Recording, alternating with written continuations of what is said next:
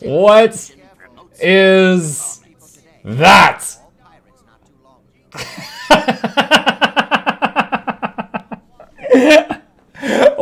Freaking long cat? Oh my god. this is cursed. Oh. Okay, it is Tuesday, March 29th. We are doing a morning stream on the European servers, and they just came out with a patch. Now, a few days ago, we were told that there would be a patch because they released preview notes for the Catalyst and for Breakbar changes. However, just skimming this monster, there's a there's a lot more. There's a lot more. So we're gonna try to pick this apart now, figure out what they did, try to TLDR this after we've read it, and uh, try to explain the reasoning behind their changes if possible. Okay, first up, Super Adventure Festival.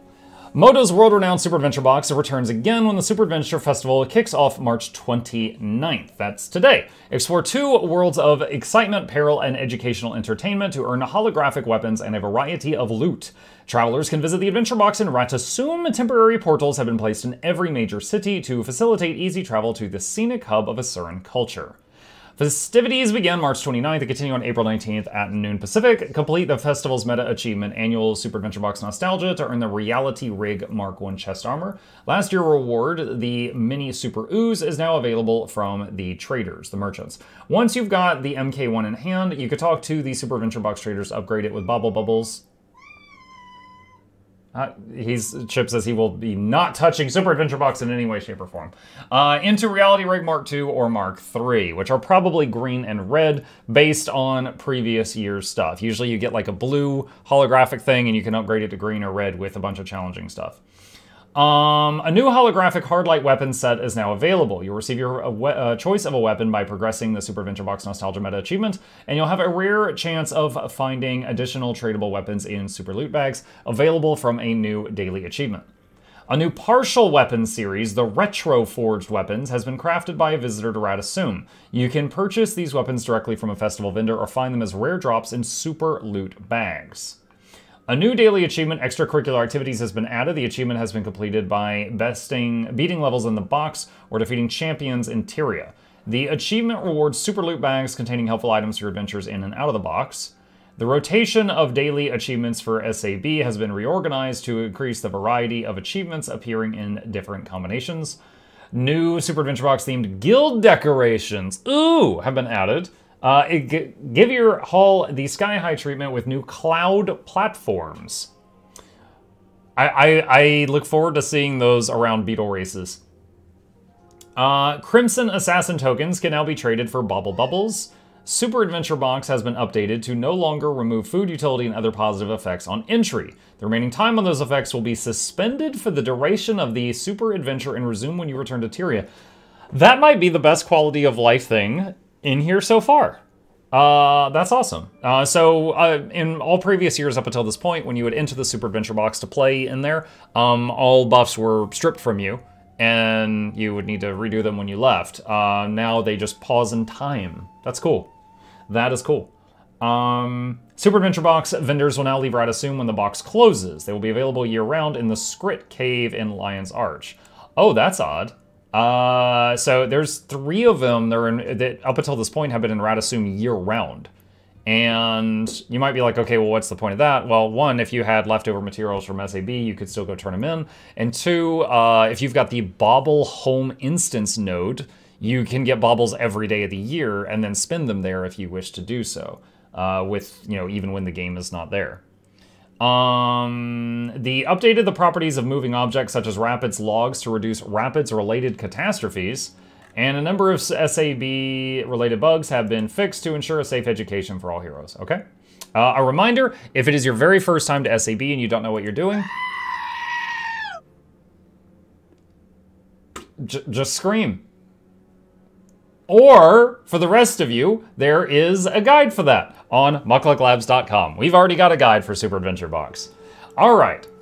Uh, World Polish. Players can now retain up to five stacks of the Dragon's End contributor effect by participating in the Battle of the Jade Sea meta event. Okay, wait, hold on. Uh, five stacks of Dragon's End contributor. All players can obtain a stack of the effect when each of the three lanes escort event succeeds, and a stack when the Quell the Branded Void corruption event succeeds. Players can then obtain a fifth stack by participating and use the Crystallized Dragon magic to charge matching Prismatic Crystals event uh, if it succeeds, for a total of five possible stacks.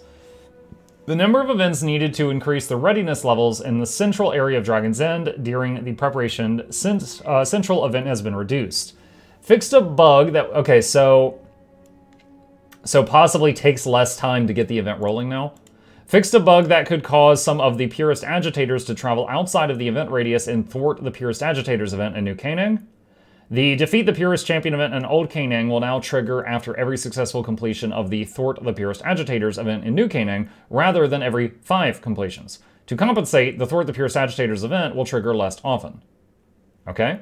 Uh, adjusted the spawn conditions and locations in Dragon's End for the Looking Back Collection achievement. Marjorie will now appear as long as the meta event is not actively running. The hint text to this achievement will be updated in a future release.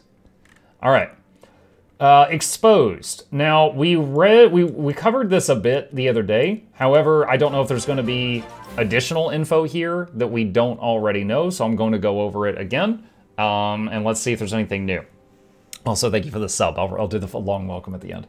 The exposed effect is applied when a creature's defiance bar is broken and causes the creature to take additional power and condition damage for short duration. Previously, there was no consistent duration for exposed. We are standardizing its applied duration to 10 seconds, which is longer than the previous durations.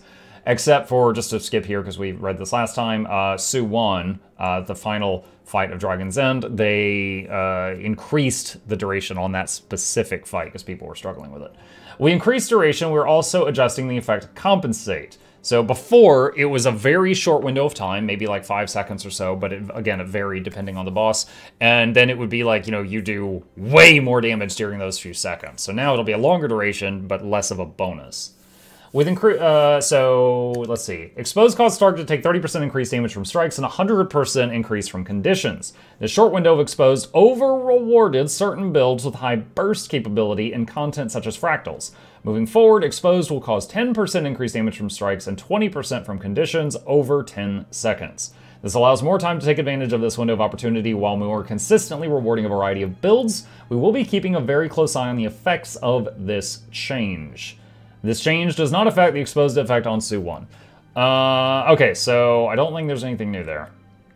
Bug fixes. Oh god. Fixed incorrect progress text in the Crypt Seeker achievement. The simple-minded achievement has been reworked to require throwing treasure maps at Naga looters instead of requiring throwing treasures at multiple Naga looters simultaneously. Uh, Hungry Hatchling in Dragon's End now correctly consumes the right fish.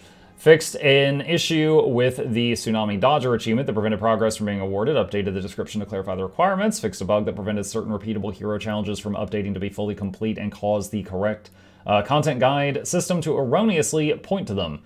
Added a pair of diving goggles and a diving achievement in Arborstone. Fixed Elite Specialization Collection text to more accurately refer to a specific enemy group instead of a specific enemy type within a map. The thruster control, you know, I think this is the only one so far that I've actually seen.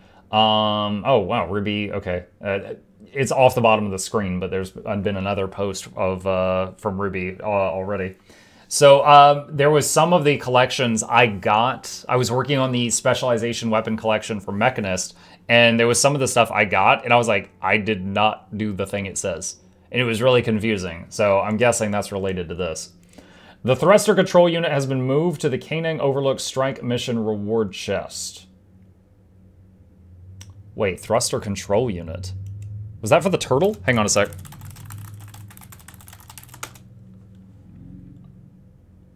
Uh, yeah, this is related to the turtle.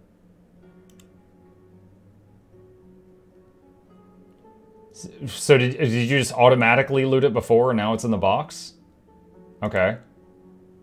Okay. Um, let's see. Several PvP reward boxes have new icons. Beyond will no longer mistake Asura for Sylvari at the end of the World Tour. How insulting. Updated the hint involving the Tengu made bow in the character growth achievement. Minions will no longer be permanently knocked down if they are caught up in a shockwave in the Only One chapter. Uh, several easily excitable Shrine Guardian Fox kits in Seitung Province Echovald Wilds are no longer in timeout for being overly playful with a group of adventurers. Okay. Jade Lanterns now have a new interact animation. A new but possibly familiar friend has appeared in Arborstone for those players with the Arborstone Revitalization Globalization Mastery. I'm there now, but I think I need to refresh my game. Resting is now effective in all of Arborstone, not just the M. Players staying or logging out from anywhere in Arborstone for at least four hours will get an experience bonus effect based on their Arborstone Revitalization Mastery progress. So essentially, this is uh, World of Warcraft has done this for years, but it's basically incentive to go to the safe area, and right now the only safe area in game is Arborstone. And when you uh, log out there and come back next time, like if you log out there overnight, you will get a bonus to XP gain, which uh, even for max level characters, that can get you more spirit shards faster. Asteri, thank you for the raid, buddy. Appreciate that. Uh, the type of objects made for assisting the Tengu crafters in the Mori village Renowned Heart will now properly cycle through all of the daily options. Collecting all three ingredients for making the crafters objects in Mori Village Renowned Heart now hopefully displays the location to take your full basket to the finished product. I've actually never done that. I got I got to that heart and I started, I saw that, like, I picked up an item and it's like, all right, now you're gonna use this and this and this and this and that. I just dropped it. I was like, I'm gonna go kill those guys. I was like, I, I, I'm gonna go the flute girl approach. I choose violence. I do not wish to do basket weaving. Thank you for the offer. So I've actually never done this. Uh, the duration of the damage bonus effect granted when a player successfully returns to their body at the top of the platform during the final boss fight in the Battle for the Jade Sea meta event is now refilled once the boss returns to the platform after the phase completes. Okay, so we're getting uh, another quality of life bonus damage thing for that uh, for that fight. Updated the inventory icon for the speaker supplies gathered for an objective during the Bring Speaker Supplies to Stas event in Echovald Wilds to appear more distinct from the non-objective, I was like no-no objective? No-no objective rewards dropped by defeated speakers. Fixed a bug in which the Kestrel Ariana would teleport during prevent both of the gangs from seizing control of the junkyard. She now stays and fights. Fixed an issue that prevented the Asura Gate to Lion's Arch instead of Arborstone from being unusable uh, upon training the base of operations tier of the Arborstone Revitalization Mastery Deck. Imagine that. You've got a portal to Lion's Arch and you upgrade Arborstone and it breaks. And they're just like, oh, thanks. Appreciate that upgrade. Fixed a bug in which Tatio and Trainer Saya were not reappearing after tra track down the missing Tengu Tatio. Uh, they now reappear consistently. Fixed a bug in which the corrupted Moa and Echo Wilds will get an incorrect amount of added boss abilities. oh, this is the Moa just appears behind you, and it's like nothing personnel, kid.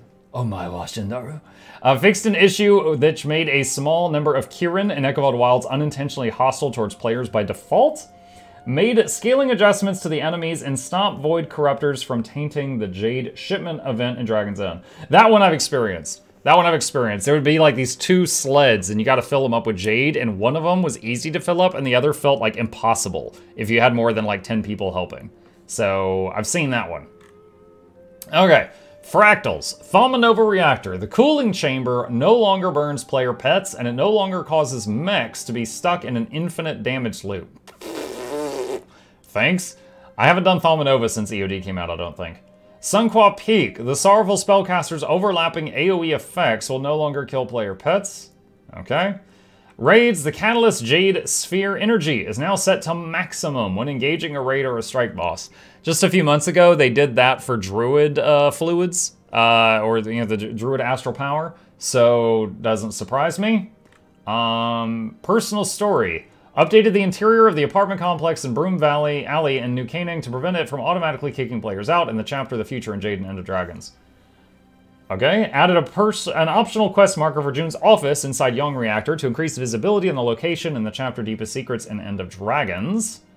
Fixed an issue in which players would automatically get dismounted when trying to mount if they were wielding Sohothin in the chapter Beast of War and Path of Fire. Items. The Elite Specialization Collection item earned from completing the End of Dragons story can now be earned from completing the Dragons End meta event or purchased from vendors in Dragon's End if you finish the story with another character. The text will be adjusted to reflect this change in a separate update. Hi, Season. Okay, so that's actually kind of big. So if you're playing one class, like if I'm playing Mechanist and then I decide for some insane reason that I want to play Virtuoso, I can, and I want to, in the, the Virtuoso Specialization Collection weapon requires you to do Dragon's End. I don't have to do it again.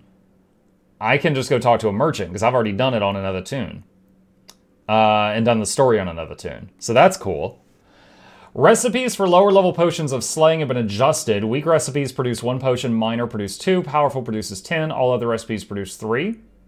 Fixed a bug with Jadebot scavenger protocols. Scavenger protocols no longer work when killing players. No! It was a feature. Oh my god. Do you, do you know how satisfying is to kill someone in PvP and then your Jadebot loots a bag of like totems and blood from their corpse? It makes sense. It makes sense to find blood on a dead player. Oh man. Yeah, that was great. That was great. In World v World and in Conquest, if you had the uh, Jadebot chip for uh, magic trophies, you would get some even when you kill players.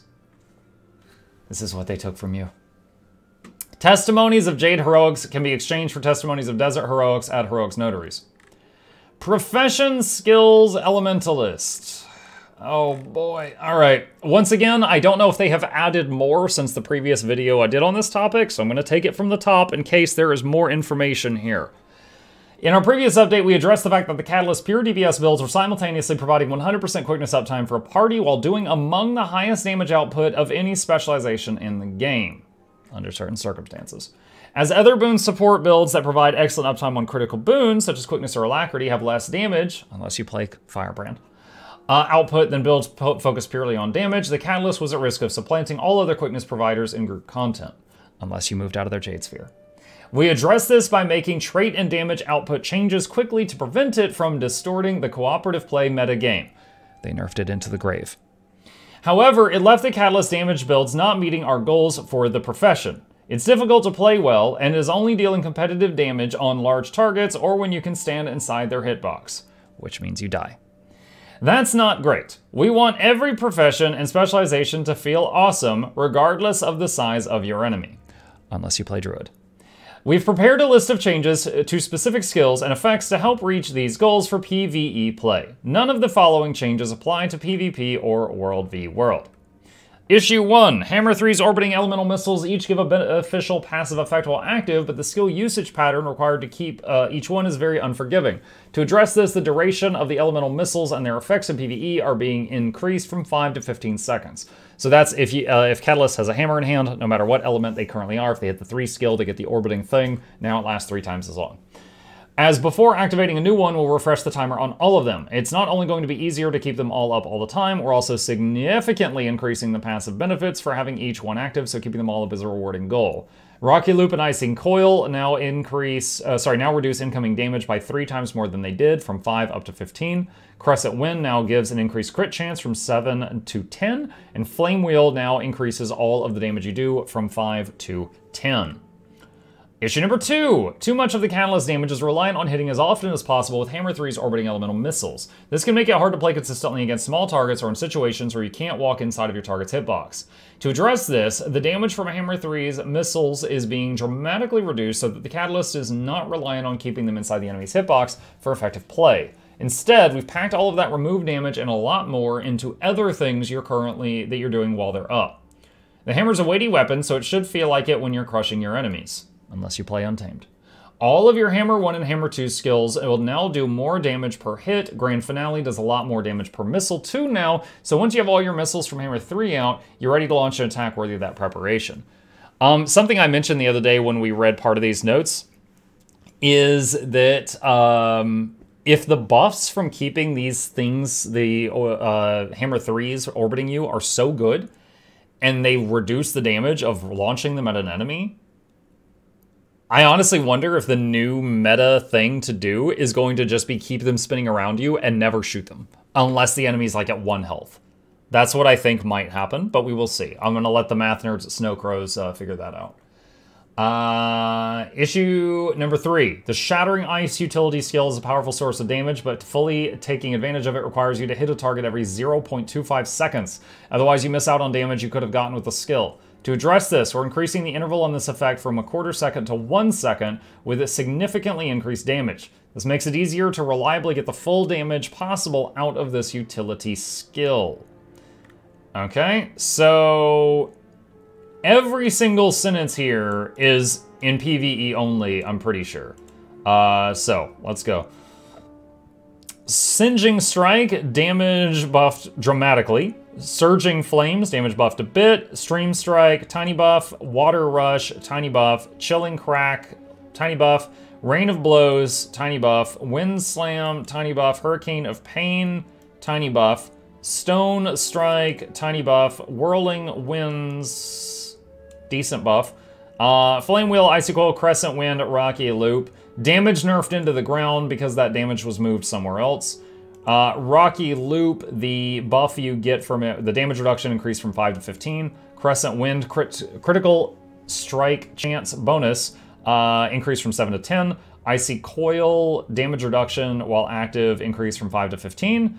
Flame Wheel, uh, damage and condition damage bonus while active increased from 5 to 10. Grand Finale, damage coefficient per missile increased from 0.7 to 1.0. Yeah, I'm still wondering if it's going to be better just to let these spin around you and not ever fire them. We'll see. Uh, utilities, Shattering Ice, damage coefficient per strike increased from 0.1 to 0.6 in PvE only. Chill duration increased from 0.5 to 1 in PvE only. Interval between strikes on the same target increased from 0.25 to 1. So, it, rather than 4 times per second, you could proc it once per second, but it does 6 times the damage. So this will be much easier to use.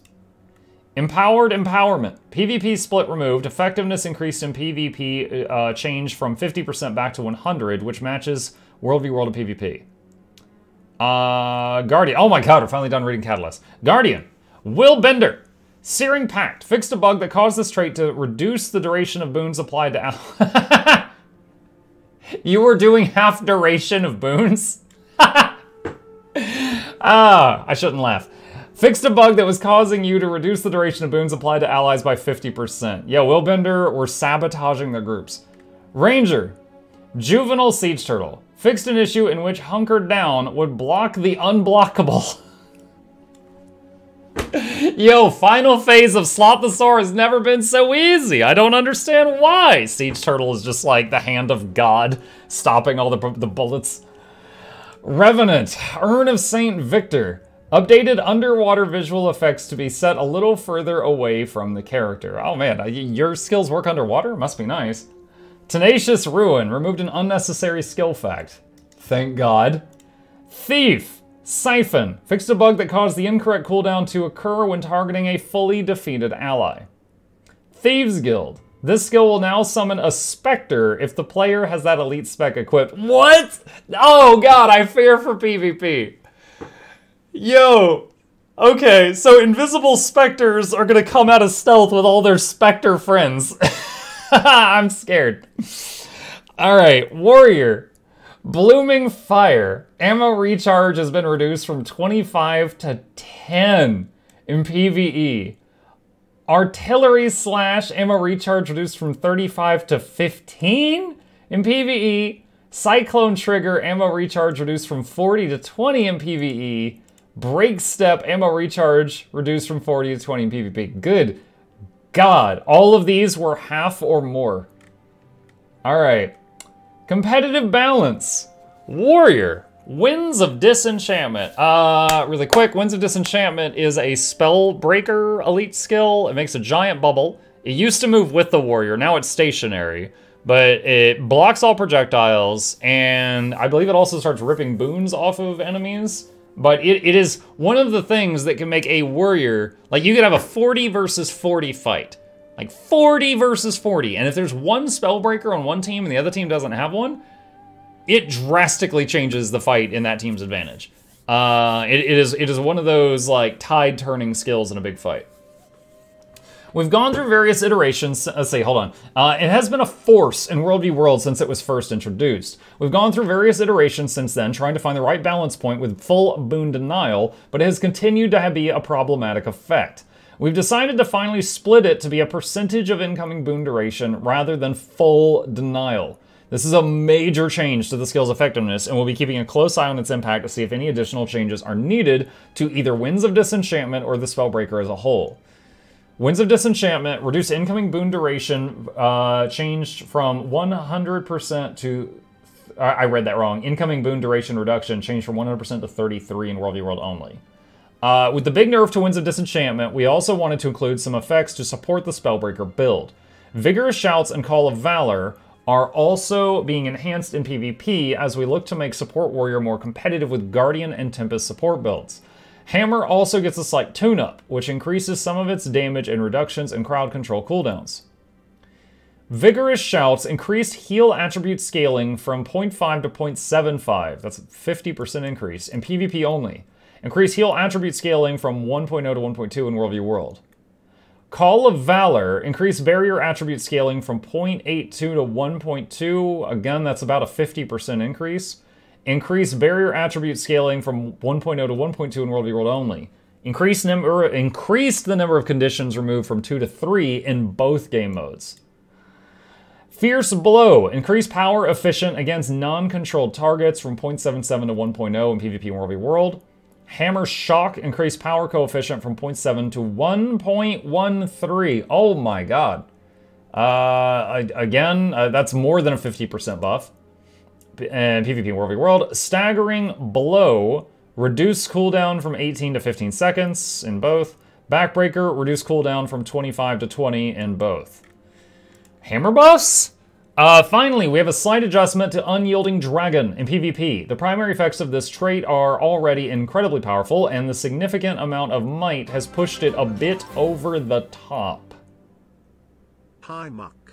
Glad to have your stream for lunch break. Glad to have you here for lunch break, Alfredo. Thank you. Unyielding Dragon, reduce the number of might stacks granted when converting flow into charges from 2 to 1 in PvP only. All right, so a little tweak to Bladesworn there. All right, Engineer.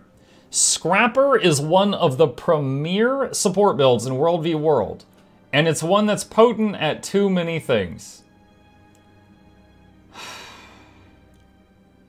I'm afraid where this is going.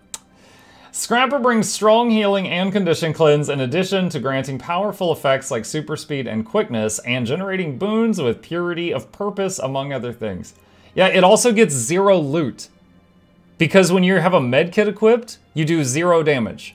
And if you do zero damage, you're not tagging things, and the way the World v World loot system works is you have to do at least one damage to things to get loot from them. So you can play support scrapper World v World for hours, and you get no loot except for the, the just the timer stuff.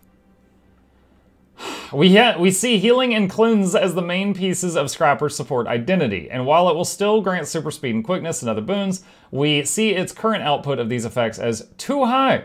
We do want Scrapper to be capable healer, but it's currently a bit stronger than we'd like, so we're bringing down the healing of Medical Dispersion Field. Oh, dang. So I can actually show that right now. So medical dispersion field is this right here. It's a Grandmaster trait. And what it does, uh, now I'm in PvE right now, so the numbers are different. But basically, when you get hit with a heal, a fraction of that heal is copied to five people around you. So like when you use your self-heal, let's say it heals you for, you know, 10k, uh, that, that's a just a round number. Uh, let's say it heals you for 10k, it would heal the people around you in PvE for 5k. Um, so it's a very strong skill. And of course, you know, regen ticking on you is kind of lightly ticking on everyone around you, like everything. So it, is uh, usually, if you look at like all your sources of healing, this ends up as the top thing very often. Um, mm -mm -mm so gyroscopic acceleration, reduce super speed duration by half. Speed of synergy, reduce super speed area of effect duration from five to three. Kinetic accelerators reduce quickness duration by almost half. Medical dispersion field, reduce heal share percentage by almost half. Oh, thank you. Uh, purity of purpose, Increase the internal cooldown from 2 to 3. God dang. Uh, that is, that is painful. Mechanist has continued to overperform in PvP even after the nerfs it received in the last update, and we're making additional adjustments to the mech stat inheritance. Reduce Jade mech stat inheritance by 20% for all stats in PvP only. From what to what?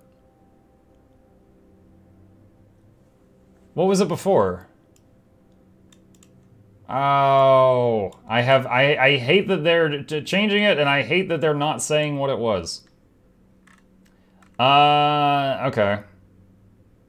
Well, we'll see how that goes. I gotta say, I think I I don't know this for a fact. I'm guessing Jade mechs are beating people up at the lower tiers of PvP. Nothing wrong with it. That's a valid concern. At the higher end, it's uh, it, it is it is very challenging. I I've peeked into Plat One a couple of times this season, and uh, you know Vindicators, Specters, and Harbingers are, are, are running circles around the mech. Like it's it, the the pathing is too. Like Skyhammer especially, the mech gets stuck on things constantly, and it just stays there forever until you move a mile away or blow your shift signet to uh, teleport it. Um, okay, I'm I'm I'm I'm surprised to hear this. We'll see what happens there. Uh, Guardian. Firebrand is another support build that is good at a few too many things. Yeah, for like many years. The main aspect that we want to bring down is its ability to heal allies, and for this update, we've targeted its passive healing capability via Battle Presence. This will reduce the Firebrand's overall healing output while leaving Tome of Resolved as a higher impact healing option. Battle Presence. The following changes affect the Firebrand Elite spec only. Reduced pulse base heal from 84 to 42. so 50% nerf in World v World. Reduced pulse heal attribute scaling by half in World v World. In this update, we're shaving down the damage output from both Power Guardian and Rev in World v World. Staff damage is something we've brought down previously, but it's still higher than we'd like to see on a weapon primarily designed for support. Test of Faith. Reduce pass-through strike power coefficient from 2.52 to 2.22 in, in World v World. Procession of Blades. Increase cooldown from 20 to 25 in World v World. Holy Strike, reduce power coefficient from 0.91 to 0.73 in World World. Symbol of Swiftness, reduce power coefficient from 0.3 to 0. Uh, 0.25 in World World. Okay. Uh, Righteous Instincts has been a key piece of Power Guardian builds for as long as it's been in the game. Core Power Guardian currently sees average success in lower ranked play, but it hasn't been a major player in higher ranks or serious tournament games for quite a while. While we're looking at updates for Willbender, we floated the idea of enhancing Righteous Instincts and saw it as an interesting option. This is another change we'll be keeping a very close eye on to measure the impact and see if it's something that we need to reevaluate. Righteous Instincts increase bonus critical chance from 25 to 40% in PvP only. While the Righteous Instincts effect is potentially a big one for Willbender, we felt that there were a few other pieces that were worth adjusting. A longer immobilization on advancing strike gives Willbender slightly more potential to set up its own damage, and lower virtue cooldowns solidify the specialization as a high mobility roamer.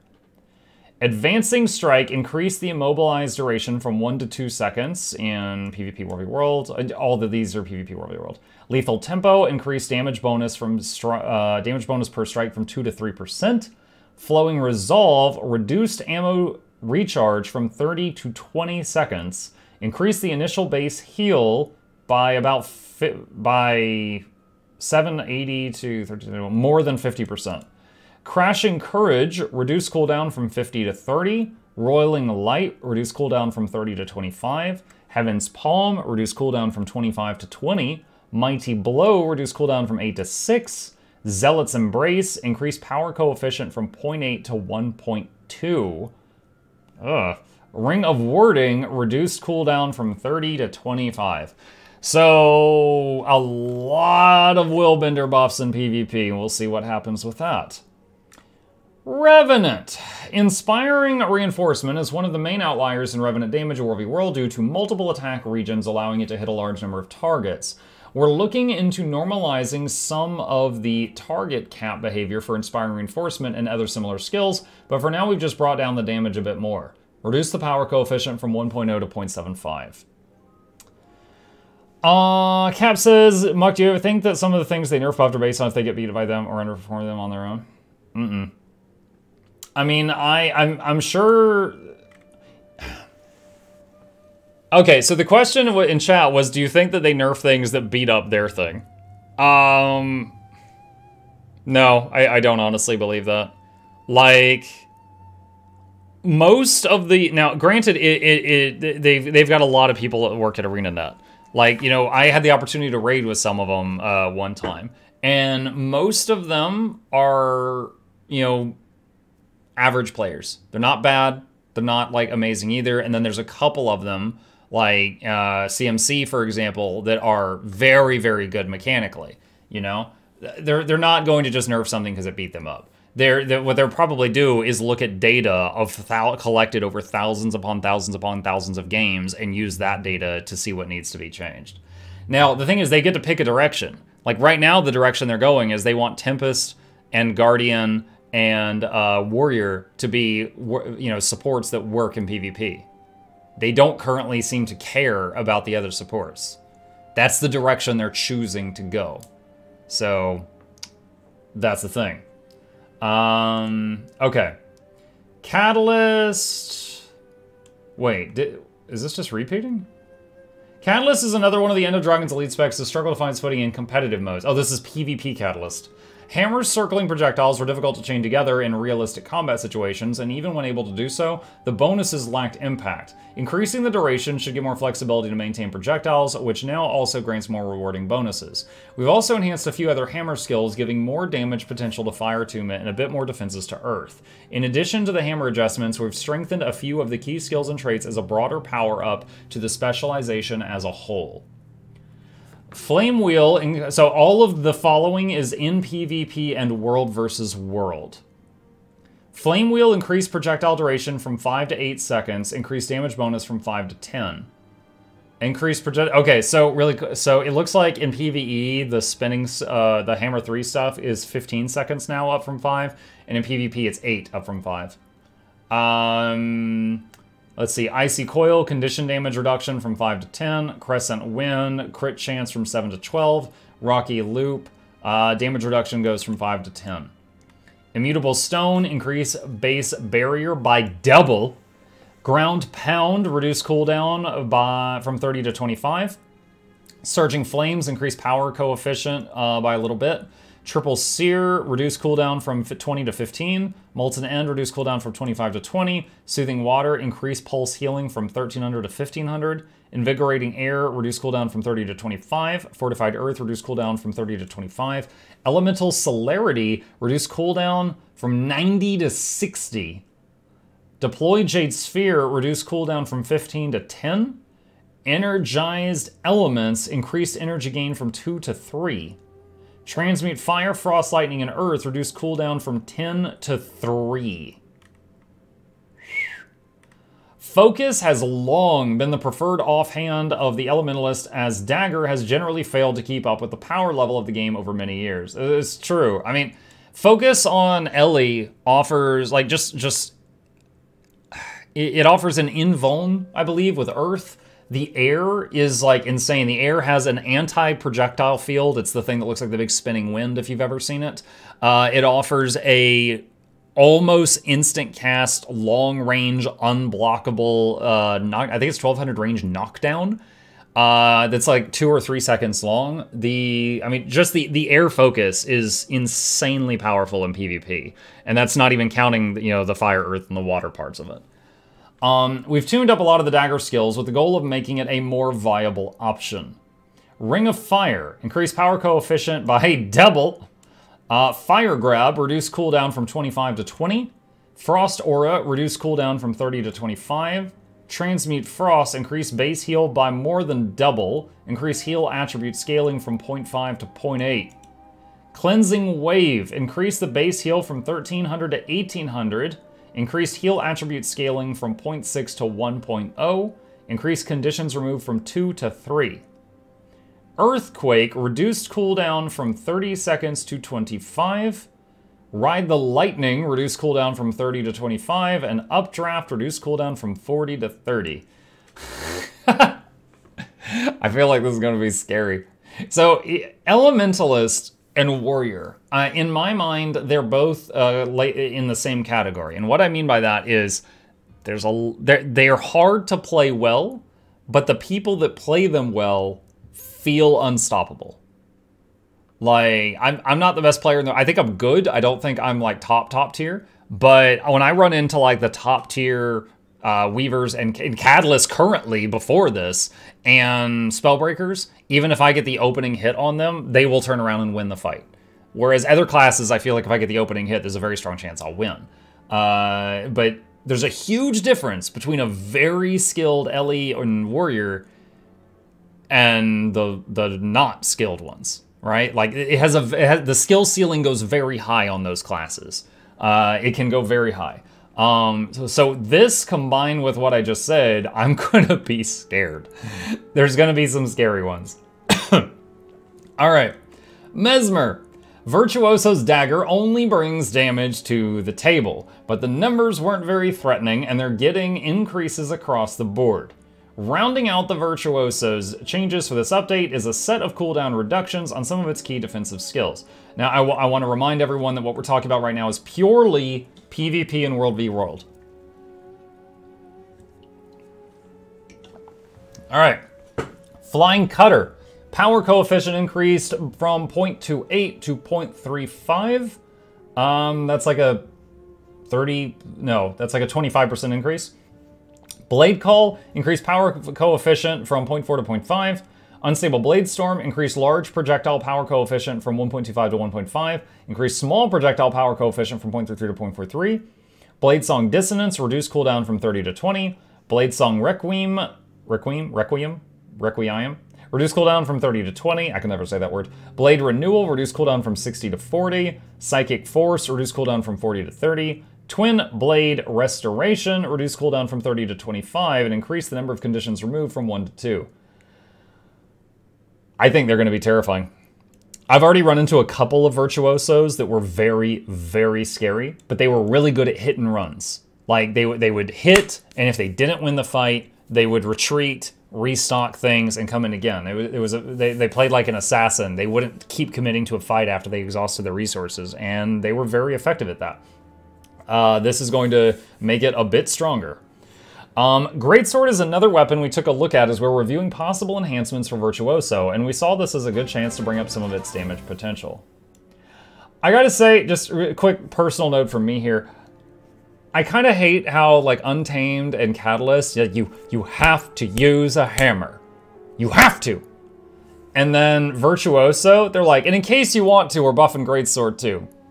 Love you guys. Call me. Mirror Blade increased the power coefficient from 0.6 to 0.75. Mind Stab increased power coefficient from 0.7 to 1. That's a big increase. Phenomenal, uh, fantas phenomenal, fantastic, phantasmal berserker reduced cooldown from 20 to 15.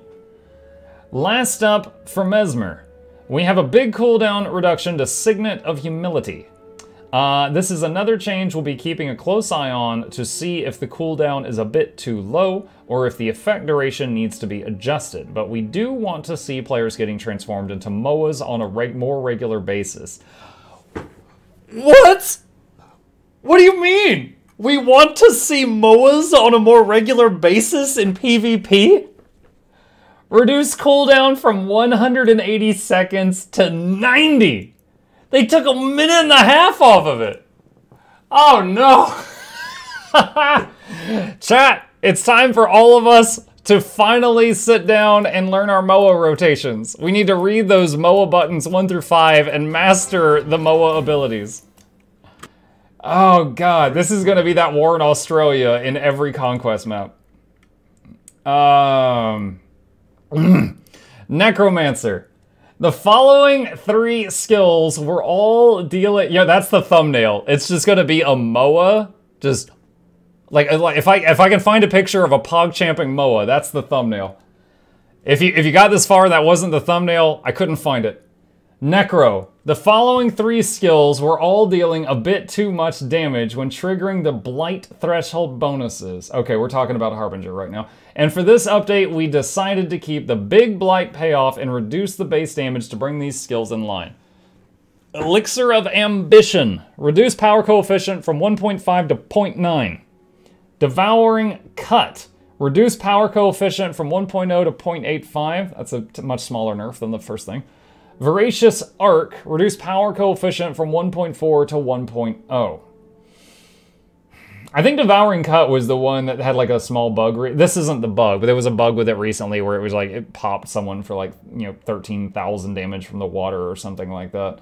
Um, I think they already fixed that bug, and then this is in addition to that. Yeah, yeah, next video, low intensity MOA rotation.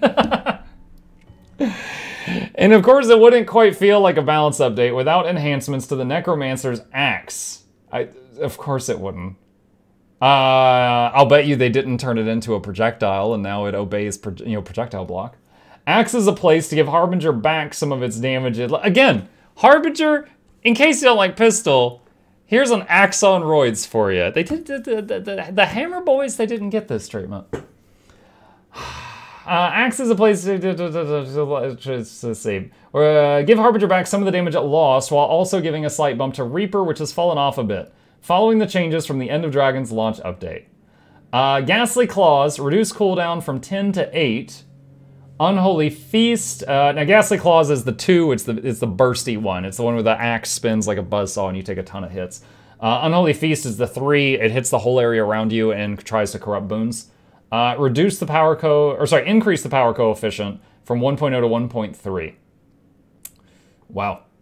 Uh, Black Lion Trading Company Gem Store. Bug fixes. Fixed an issue with the Crescent Canoe skiff skin in which the fishing party effect was sometimes lost depending on the player's position with the skiff. Thank God. You know, the funniest skiff thing I've seen so far is I saw someone put a clip on Twitter and they had their skiff part, like it was uh, it was grounded, it was on the shore, and they had some elite mob aggro them and they ran past their skiff and the mob started punching the skiff. And then the guy's like, wait, really? And then he turns around and very slowly with dual pistols, he was a thief, whittles down this mob that was like gold border while it was punching the skiff. So skiff is actually a better tank than any mecha ranger pet. You heard it here. All right, so with that, Ruby has a reply. Let me update this. Oh my god. All right, late notes. End of Dragons event rewards have been improved. Improved timing and flow for the bite attack sequence for the final boss in the battle for the Jade Sea meta event, which will allow for slightly more uptime on attacking the boss. Fix a bug in which the plants and special action skill in the Help St. Joel Tend the Garden event in Seitung Harbor will function incorrectly and remain after the event finished. Fixed a bug in which the toxicologist Yan would sometimes get stuck in an emote loop, preventing her uh, vent chain from working properly in Seitung province. Fixed a bug in which the map and NPC markers were sometimes not showing up at the right times for the A Guardian Once More collection achievement. Fixed a bug in which the spirit tethers were not attaching to the right places with defeat Tae Young and stop him from the Harming the Spirits event in Seitung Province. Fixed a bug in which Lieutenant Francis used the wrong character model in Seitung Province. When I read Lieutenant Francis, my brain immediately pulled up an image of Paladin Mike from Tiny Tina's Wonderland. And then I was like, wait, that's not Francis. End of Dragons food consumables are now classified as meals within the crafting menu. Fixed an issue that could prevent the set hook skill from appearing when fishing if there was an obstacle between the player and the casting target. Fixed the fire eel's hint description in the Ring of Fire Fisher collection to indicate that it can now be caught at any time of day. Fixed an issue in which the fishing alert reminder to set your hook was showing up on the compass map for other players. Sounds annoying. You're just minding your own business and just getting all these hooks. You're just like, ah, fisherman, stop. Uh, fixed an issue that would cause the fishing party catches effect counter to disappear after 99 stacks. Fixed the increase the drop rate of fish from Stalwart Fisher collection when fishing from nodes. Items. Tier 3 upgrades for Jadebot modules can now be purchased from Myung-Hee and Seitung Province in Zazzle and Arborstone. so a lot of people have been like, Muck, when are you going to make a Jadebot guide? Here's my Jadebot guide. Go to the trading post, buy a tier 10 core, a scavenger protocol magic trophies, and, and whatever you want for this slot, it doesn't matter, and install them. You're done. Like and subscribe. Now you know how to do Jade bots. You're welcome. None of that other stuff. Uh, cup of light roasted coffee no longer yields research notes. Research note output of some items has been adjusted. Third generation legendary weapon gifts now appropriately use the legendary name instead of the precursor name in their item text. For example, Gift of Aurene's argument now displays instead of Gift of Dragon's argument. You know, this makes me wonder, um, do I still have the box? Um, ooh, someone made a mess of my bags. Who did it? Where is the precursor box? Um... The precursors still don't say they're precursors. Well, I've said it before, I'll say it again. A word of warning, my friends. If you get any of these items, dragons, something, and it's exotic, it might be a Gen 3 precursor. Um, be careful. Because Gen 1 and 2, I don't think say that. Uh, did you restart? Uh, we're at the end of the note, so I can go ahead and restart and get the patch now and see if anything if anything changes. So Noxy, I just got the I just downloaded the patch. Noxy said, get on my sky scale, fly up to the ceiling as high as I can go, then hold down the one key, which should land me in breathe fire.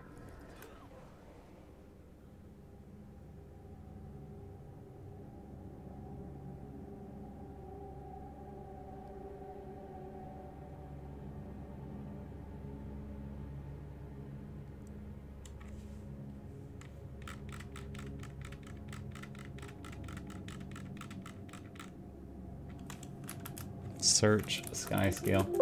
They didn't even touch sky scales in this patch. How did they do this? Does it happen just when you hit one? No. When you're airborne and hit one? It's only when you go up to the ceiling. Okay, so it doesn't happen when you hit one. It doesn't happen when you're a foot off the ground. What if, what if I go like halfway up? I took fall damage. Okay, so basically, whatever the distance is that you descend, it's counting it as fall damage. Okay, what if, uh, hold on a sec. What if I get down to almost the ground, and then stop, and then go down the rest of the way? Really? It saved it? It's like, in case you forgot, you fell earlier.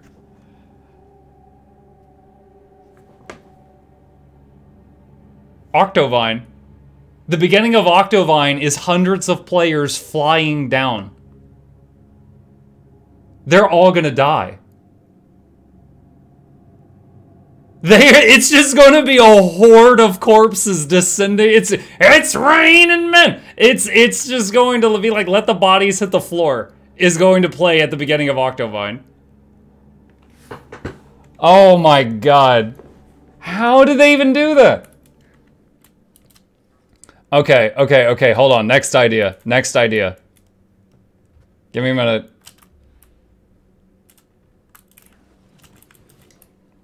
Griffin. Griffin works. Alright, so the people that approach Octovine on a Griffin will be fine. It's just sky scale. Oh, man. If you move on sky scale before landing with the engaged scale, you take 90% of the damage but don't die. I've checked and it even happens if you fly down without pressing descend or one buttons and then press one. What if, hold on, hold on. What if I get off uh, get off of the sky scale with Bond of Faith? That okay, you're allowed to live if you Bond of Faith along. New stuff, okay. Wow. New stuff in the store. All right, new stuff in the store. My, my add-ons are screaming right now. What do we got? Let's see. Elegant Canthan outfit. Oh, that is very Boost Goose. Elegant Canthan staff. Can't wait for Daredevil to beat me over the head with this thing. Uh, new Canthan Cuckoo Springer mounts pack. we got chunky burbs. Oh my gosh, these are gonna be popular. Chunky burbs. Ah, I like those. I like it. Please go to Rata Sum on a car, and talk to the Super Adventure Box trader and preview Reality Rig MK2 medium chest on your car smile thank me later. Oh my gosh, so many people here. Plush S. Reality Rig Mark II.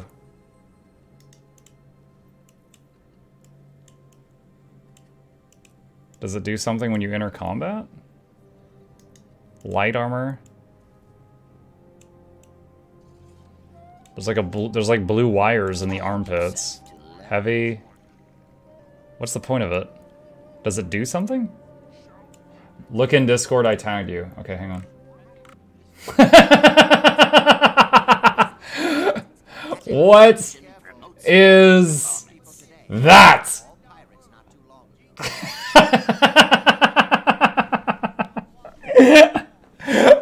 Freaking long cat? Oh my god. this is cursed. Oh. I, I, I like to believe that Charr always had the ability to do this. They just decided to not until today. oh lord, he coming. Dang boy, he long. That's wonderful. Oh man. I just I feel like uh, because this was a is a super adventure box thing. I thought the reality rig would like light up or something. Okay, there's a little bit of lights on this one. Uh, I'm I'm a little disappointed in the reality rig. I thought it would do something more than that. Oh, there he is. Sparkling Stone. Show me your wares. Okay, so Sparkling Stone has a few new things. Uh, what do we got? Retro Hammer. Oh, that, that's so weird on the eyes. It like blurs occasionally. That is so weird on the eyes. Retro Forged Short Bow.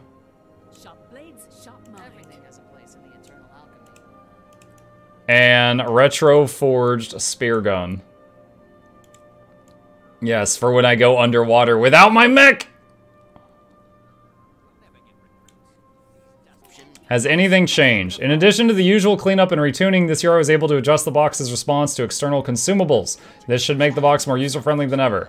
I'm really hoping for a new level one year. I know that waiting can be hard, but I want you and other fans of the box to know that I'm striving to meet those hopes. Thanks, Moto. I'll keep believing. His face makes me think of the Who's that live Whoville. Just an observation. Check your in-game DMs. Super loot bag. What have we got? Holographic cheese, deluxe gearbox, super drumstick, super apple, super cake, furniture coin, continue coin, Bauble, retro forged weapon chest. Only three options. Uh, Bauble Bubble. Rare. Hard light weapons. Why is it sideways? Why is it upside down? Oh, that's the war horn. I thought that was the mace. Okay, that threw me off. Uh, torch. Sword. Staff. Oh, they leave lines behind them too. Hi, Chip. Uh, short bow. Shield. Okay, I might want that shield on my engineer. Although it kind of looks like a credit card. Uh, scepter. Rifle. Pistol. I gotta say, this this stuff I think would go very, be very in character for a Holosmith since they're all about using the hard light stuff. Uh, mace. Bow. Longbow. Hammer. Great sword.